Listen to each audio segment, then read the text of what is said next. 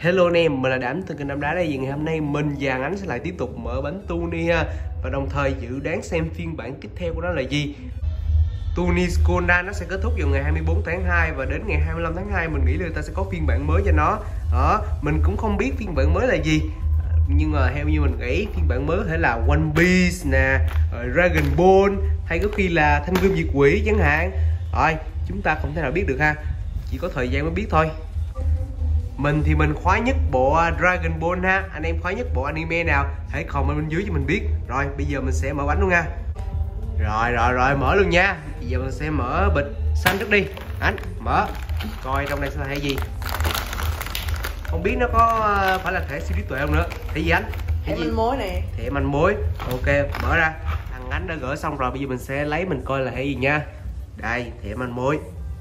Trò chơi mưu trí. Một hai ba đây đây Ebihara Toshimi 27 tuổi con gái ngư dân bạn thơ ấu của Saori manh mối dự án ờ, uh, AS bằng Á người cá không hề tồn tại đó là câu trả lời hai anh em rất đơn giản luôn. Sao này cái máy mình nó rung như tay à quên gió tay mình rung anh em à.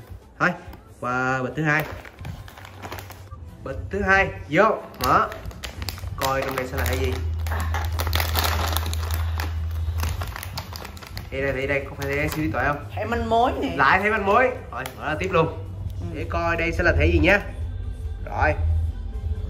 Là thẻ manh mối anh em. Một hai ba. Thì đây. Cô cô Izumi Akako bạn học của Kaito là một phù thủy thật sự là người thừa kế của sức thuật. Và nói dự quán dự án nhiều quá hả? Gì đây? Cái what gì đấy nó không có theo một cái trật từ anh em anh em đợi mình xíu. Vì vì à, là sao là sao là sao?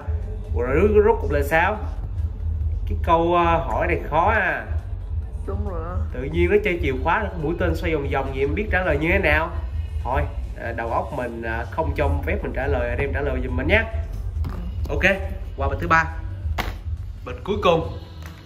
Coi này sẽ là gì coi sẽ trí tuệ không vẫn là hẻ manh mối đen quá ta.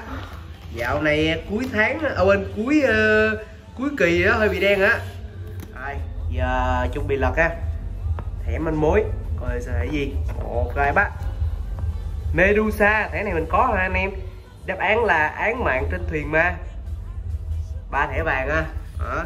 thì tóm tắt lại hôm nay mình đã mở được một thẻ manh mối một thẻ lật mặt và một thẻ bắt chữ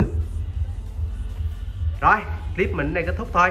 Chủ yếu là hỏi anh em ờ, xem là anh em nghĩ gì về phiên bản tiếp theo. Đó, anh em nào ờ, nghĩ là phiên bản tiếp theo là sẽ là Dragon Ball như mình thì comment dưới. Rồi, ok chào tí bye anh em, bye.